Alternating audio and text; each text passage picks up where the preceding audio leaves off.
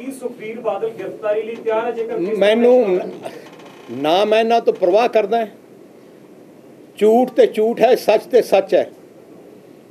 ਇਹਨਾਂ ਨੇ high ਕਾਨਰੇਬਲ high court ਨੇ ਇਹਨਾਂ ਨੂੰ ਸ਼ੀਸ਼ੇ ਵਾਂਗੂ ਦਿਖਾਤਾ ਕਿ 4.5 ਸਾਲ ਪੁਰਾਣੀ ਐਸਆਈਟੀ ਨੇ ਕਿਵੇਂ ਕੀਤੇ ਆ।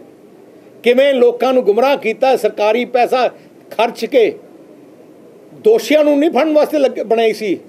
ਉਹ ਤਾਂ ਕੱਲੇ ਸ਼੍ਰੋਮਣੀ ਅਕਾਲੀ ਦਲ ਨੂੰ ਬਦਨਾਮ ਕਰਨ ਤੇ ਕੀਤੀ ਹੁਣ ਨਵੀਂ ਐਸਆਈਟੀ ਨੇ ਵੀ ਉਹੀ ਕੰਮ ਕੀਤਾ ਐਸਆਈਟੀ ਨੂੰ ਆਈ ਜ਼ਿੰਮੇਵਾਰੀ ਦਿੱਤੀ ਹੈ ਹੁਣ। ਉਹਨਾਂ ਦੀ ਗਾਂਧੀ ਪਰਿਵਾਰ ਦਾ ਹੁਕਮ ਹੈ ਕਿ 18 ਤਰੀਕ ਤੱਕ ਜੇ ਨ- 18 ਪੁਆਇੰਟ ਪਤਾ ਲੱਗਿਆ ਕਿ ਜਿਹਦੀ ਸੁਖਬੀਰ ਬਾਦਲ ਪ੍ਰਕਾਸ਼ ਸਿੰਘ ਬਾਦਲ ਨੂੰ ਅੰਦਰ ਕਰਕੇ ਆਓ।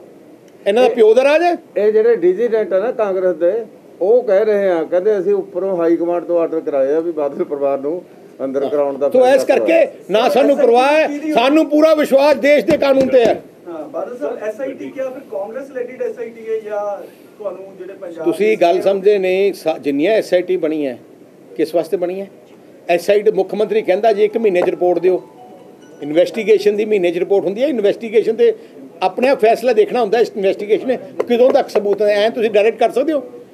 ਡਾਇਰੈਕਸ਼ਨ ਜਿਹੜੀ ਮੁੱਖ ਮੰਤਰੀ ਦੇ ਆਫਿਸ 'ਚੋਂ ਆ ਰਹੀ ਹੈ ਡੀਜੀਪੀ ਤੋਂ ਆ ਰਹੀ ਹੈ ਆ ਜਿਹੜੀ ਐਸਆਈਟੀ ਜਿਹੜੀ ਬਣੀ ਹੈ ਦਫ਼ਤਰ ਕਿੱਥੇ? ਵਿਜੀਲੈਂਸ ਇੰਚਾਰਜ ਕੌਣ ਹੈ? ਐਸਆਈਟੀ ਦਾ ਅਸਲੀ ਇੰਚਾਰਜ ਭਰਤਿੰਦਰ ਚਹਿਲ ਤੇ ਉੱਪਲ ਹੈ।